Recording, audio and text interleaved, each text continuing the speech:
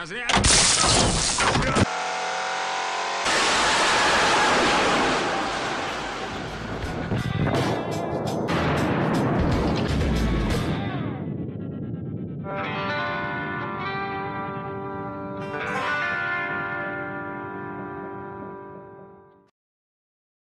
Чтобы двухквартирный дом совсем уж не выглядел как барак, мы с соседом решили скворечники на крыше оставить.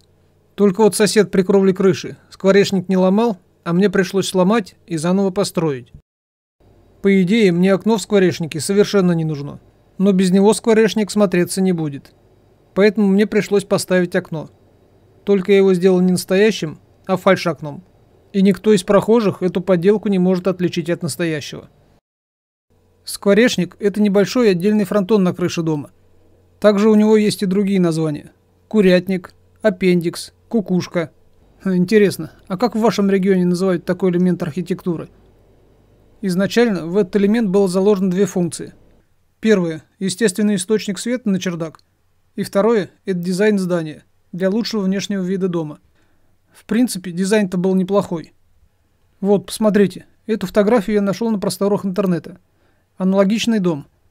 Вот именно так у нас выглядели раньше все двухквартирные дома. Со временем многие, в том числе и я, вместо холодной террасы стали пристраивать теплые помещения и подводить это все под единую крышу. После переделки крыши окно на чердак я сделал в основном фронтоне. Поэтому скворечники оно мне теперь без надобности. И теперь у меня на фальш-скворечнике фальш-окно. Это было предисловие. Ну а теперь смотрим саму установку. Возможно, это кому-то пригодится.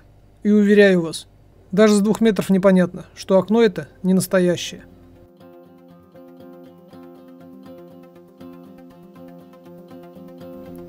В этом скворечнике наглухо зашитый фронтон, потому что он стоит на обрешетке, сверху которой застелена гидроизоляционной пленкой.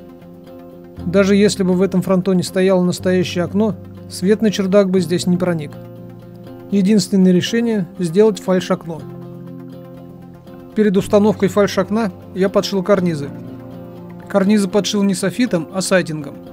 Ну потому что проветривать там нечего, а желтого сайтинга не бывает. Для установки фальш-окна нам понадобится пергамин. Отмеряем длину больше размера окна и отрезаем.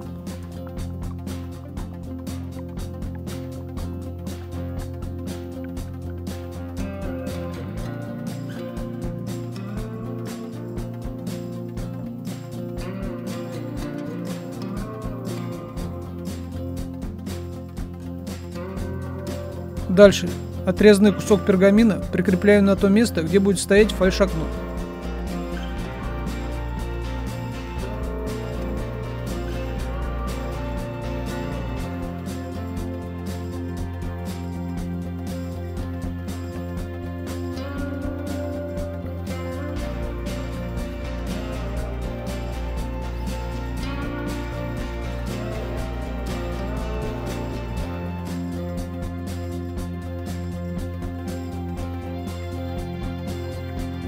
Затем сквозь раму закрепил окно на оцинкованные саморезы.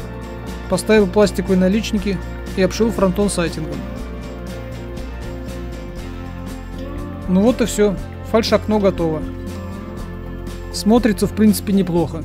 А главное, выглядит как настоящее. Так вот оно выглядит с расстояния 1 метр.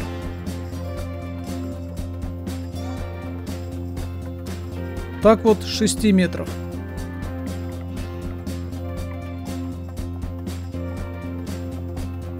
Ну а так, примерно с 20.